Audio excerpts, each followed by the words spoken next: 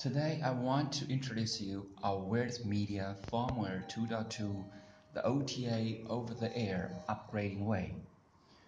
We need to enter the setting menu, enter the password, log in, and we can find a system update, updating mode setting. We can see two different upgrading ways automatic upgrading or manually upgrading. The default setting of automatic upgrading is off. We can click to open it.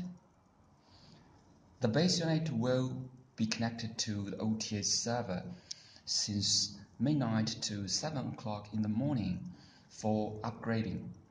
Or in case you want to make sure the latest updates is loaded, we can click the check for updates and now we can see the latest firmware version is loaded into the base unit already. Then that is our OT upgrading. That's all. Thank you.